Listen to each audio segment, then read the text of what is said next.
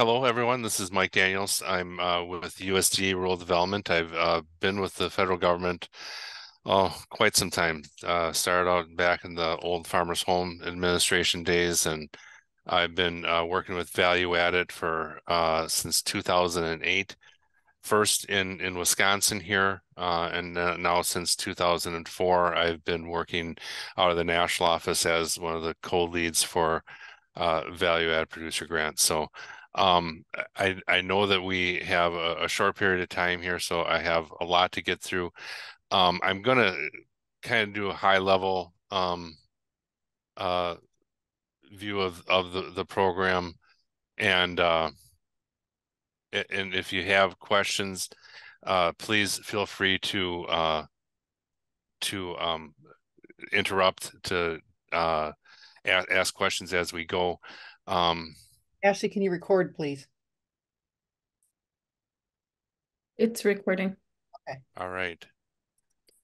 Um, so value add producer grant, it's um, uh, provides uh, funds for economic planning or working capital expenses uh, for ag producers. Uh, we, this is a nationwide program that we we run. Um, what is it? What isn't it? It's not a job training program. It's not intended to teach people how to farm. It's not R and D or loan program. Um, it's available to, as we said, to ag producers.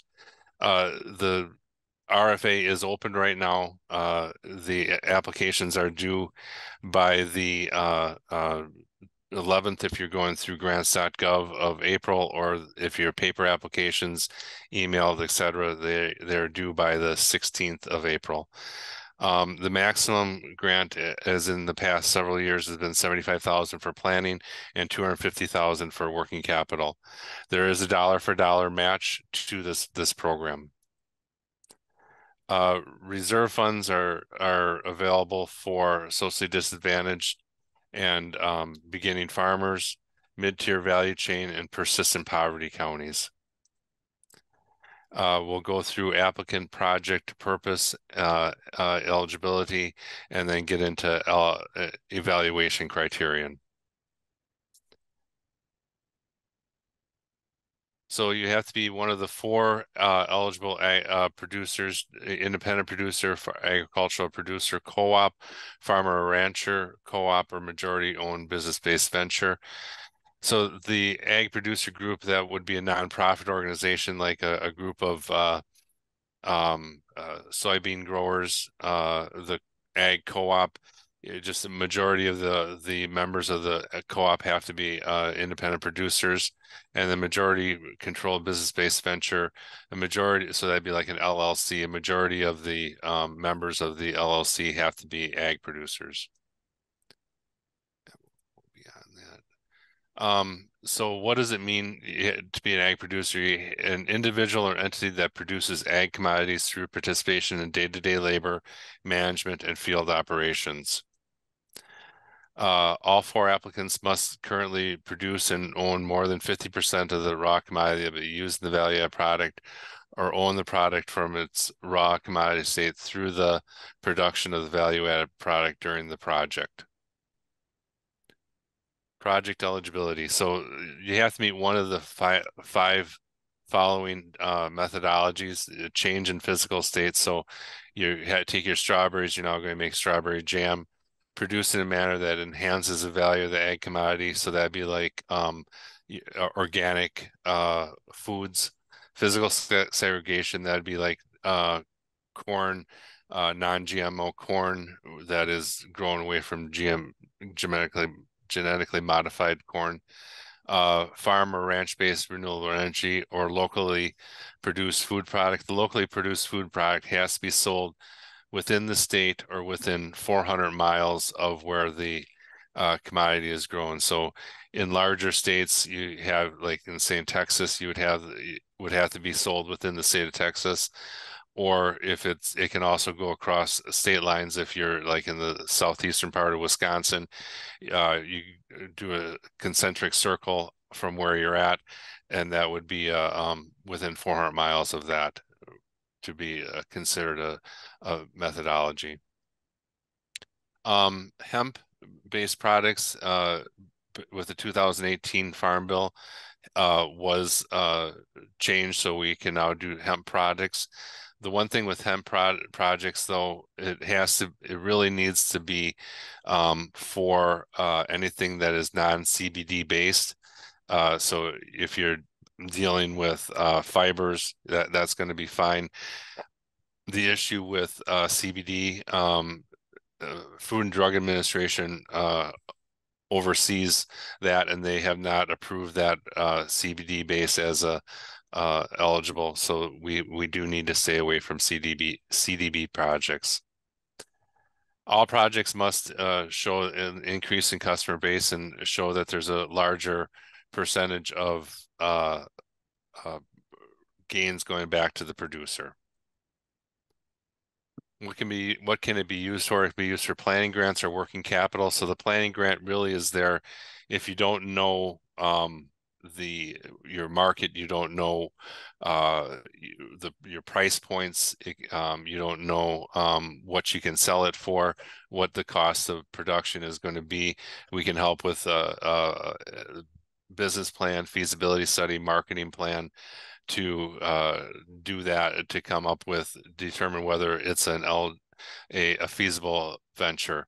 I've had planning grants that I've worked with in the past where it says it's not feasible, and I, the individual that did it that would do it, they're like upset that uh, he thought they were that we would be upset, but that showed that it didn't work, that it wasn't viable by no means are we would be we be upset. It's answering a question. It's answering whether this is a viable venture, and where the government is here to help to, to share that that risk with the entrepreneur. If you know where you're selling it to, you know your markets, you know your price points, you know that it's a viable venture, then we'd be looking at working capital, and that's really the workhorse of of this program. So the working capital is there to um, help really um, uh, you know pr- produce the product it, you know to pr- produce the value added product so you know anything after the the the the harvesting of the ag commodity. So if you're growing strawberries you're going to make strawberry jam. Everything after the the strawberries picked so cleaning the strawberries chopping them up the labor to do that the um uh, power to to cook the strawberries the sugar and pectin that would go into the jam the jars labels and lids, the your distribution cost to, to get your strawberry jam to market, your um, uh, advertising cost uh, to advertise your value add products. So I, I, use strawberries just as a real generic term, but it, it can be, you know, for any ag commodity. Um, working capital request, there's a couple different types of requests of 50,000 more is emerging market uh, 50,000 more for market expansion or simplified less than 50,000. So uh, emerging market um, really is going to be uh, for any of the group type applicants like the ag, ag um, producer group, the uh, farmer rancher co-op majority owned business based venture. You would need for 50,000 or more, you would need a feasibility study. Uh, market expansion is going to be for independent producers that are just expanding their market into uh, expanding the market of their value add product into a new market. Matching funds, we always get a lot of questions on matching funds. Uh, matching funds, uh, you know, we really look at um, matching funds from a lot of different perspectives.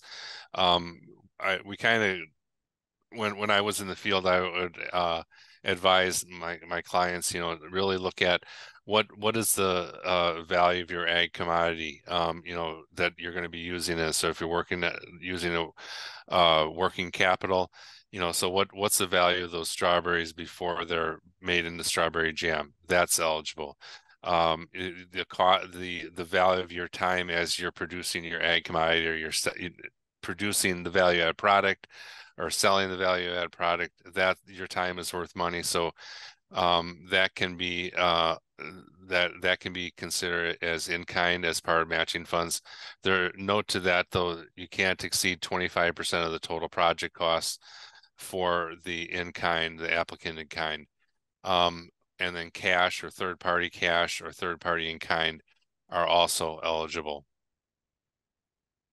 for uh, the eligible use of uh, types of matching funds. Um, again, it has to be uh, at least um, eligible to the grant amount, so dollar for dollar match. Um, what we can't do is um, say you have uh, you're buying a piece of equipment. Um, equipment is not eligible for value added, so we couldn't use that the the cost of that that piece of equipment that you're buying as part of your match. It has to be for the uh, on it has to be spent on eligible expenses. Um, and it has to be from uh, someone without an apparent conflict of interest. Ineligible uses of funds, um, el eligible use of planning grant funds pay for qualified consultant, do feasibility study, business plan, or marketing plan. Um, common examples of uh, eligible use of working capital, pay the cost for produ producing the raw commodity into value added product, packaging, labeling, the ingredients, promotional materials, advertising, things of that nature. Um, ineligible use of uh, funds really again we're taught we can't we we can't allow it to be paid for the actual production of the ag commodity uh, planning building or repairing facilities um, use of grant funds to pay yourself or associated parties um, 2 cfr 200 does not allow for um, grant funds to go back to the grantee um, ineligible equipment expenses again we as i said before we can't uh, allow equipment for that you would need to uh, process your value added uh, um, product. Uh, those those are not eligible. The equipment is not eligible. But what I've also I would also tell people is, while we can't pay for the cost of buying um, a processing line or uh, things of that nature, what we can do is uh, we can pay for that labor to to bottle the wine or to do something along those lines. Um, what we which would free up your cash flow in order to for you to buy uh, the equipment that you need. One when we talk about equipment expenses, though, under 2 CFR 200, equipment is defined as anything greater than five thousand dollars. So if you're looking at small PC, uh, small equipment, like say you, you need to buy a freezer or a um, a, a bottle filler for wine or something that's under five thousand, those would be eligible expenses for that we could allow uh, for equipment to be purchased if it's as long as it's under five thousand dollars. Um, if there are ineligible expenses within a, an application, as long as they don't exceed 10%, we would uh, continue with processing the application. And then if awarded, we would uh, look at swapping those uh, ineligible expenses out with eligible expenses. Evaluation criterion. So each application is going to be scored on these uh, points here na the nature of the proposed project, qualification of the personnel, commitments to the project, and work plan and budget. And then it uh, can there's priority points that are available for certain groups, and we'll get into that in a little bit later. So the priority points can be for beginning farmers, veteran or farmers, socially disadvantaged, mid-tier, small or medium-sized farm structure of farm family, or farmer rancher co-op note that you can only apply for one of the the, the points. So what I would what we normally talk talk with people about is pick the one that you can uh, most easily easily uh, qualify for. So if you're a beginning farmer, if you've only been farming for less than 10 years, uh, that's pretty easy to approve. Um, so, but any one of these are, are eligible for up to five points. And then if you're um, an ag producer group, farmer co-op, or majority-owned business-based venture, if you're expanding market opportunities for farm beginning farmers, veteran farmers, socially disadvantaged, or smaller, medium medium-sized fa family farms, those are going to be uh, you'll you're eligible up to an additional five priority points in those categories.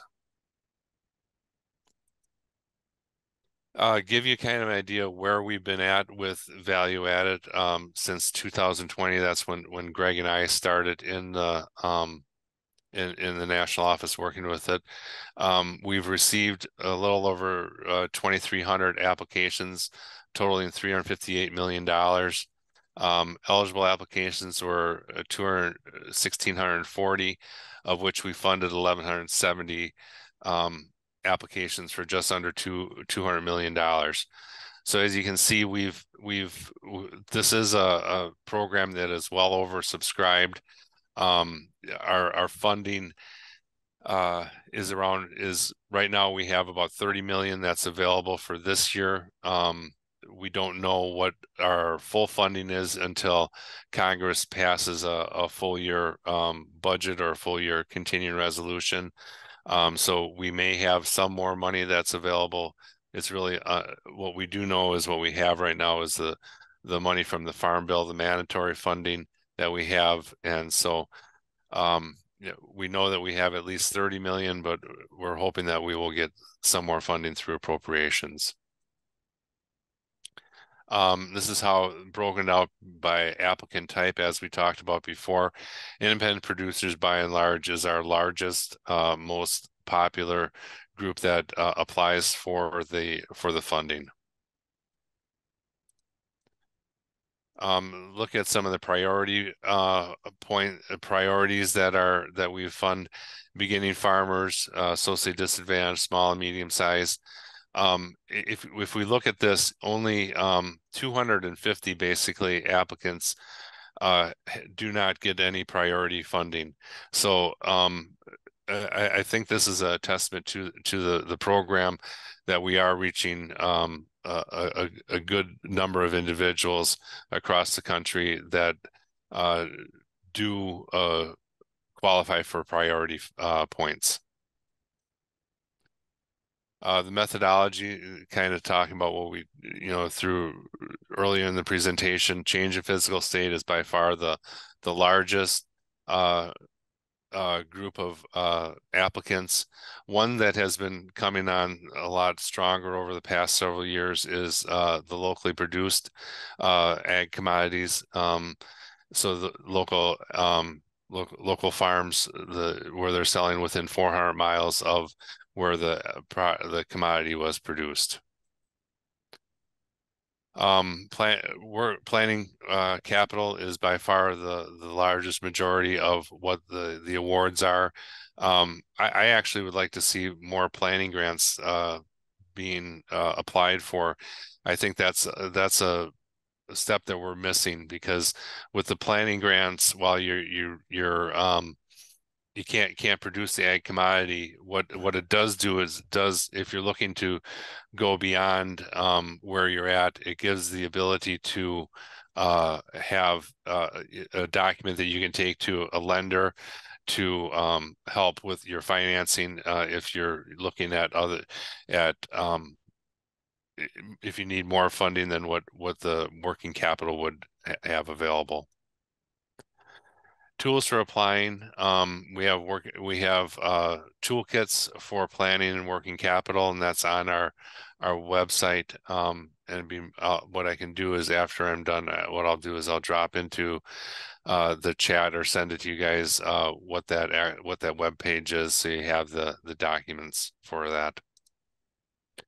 Um, contact information: Greg York, uh, my counterpart, and myself more than happy to to work to answer any questions that you may have uh, beyond today. Um, we, we, as we're we're committed to this program. Um, I, I, believe in it. Um, it's it's been a, a, good program for a lot of uh, entrepreneurs to be able to take instead of just taking what the market gives you to be able go beyond and to make your uh, ag your ag operations uh, more viable.